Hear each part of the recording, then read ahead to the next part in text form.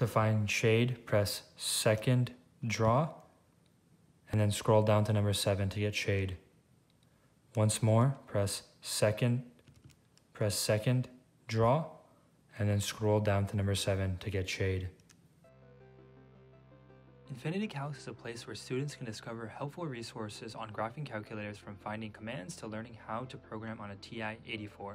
There are also in-depth tutorials and free games to download. You can find more at infinitycalcs.com.